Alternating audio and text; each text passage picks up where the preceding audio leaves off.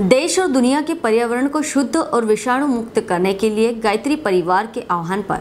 आज सेगांव में गायत्री परिवार की युवा वाहिनी और महिला मंडल के सहयोग से इक्यावन से अधिक घरों पर गायत्री यज्ञ हुआ। लोगों द्वारा आहुतियाँ डाली गई।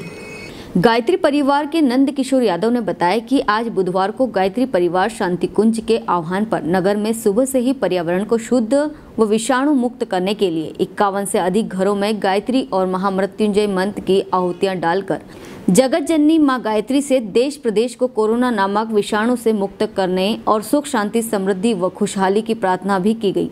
सेगांव से संजय जायसवाल की रिपोर्ट। स्वाहा।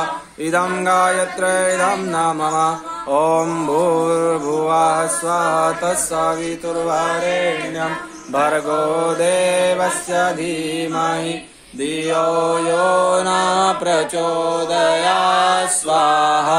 इदं गायत्र न मम ॐ भू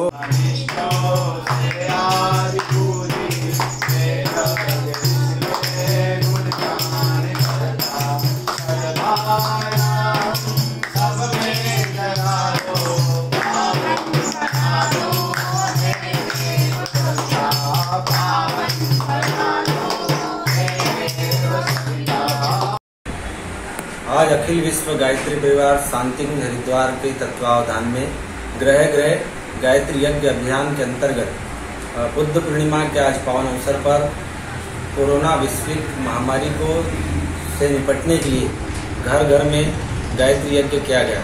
एक समय एक साथ, एक समय पर, प्रातः आठ से लगाकर ग्यारह बजे तक। सेगांव नगर में इक्यावन से अधिक घरों में भी गायत्री यज्ञ किया गया। सभी, सबके लिए मंगल कामना की गई सभी स्वस्थ हो।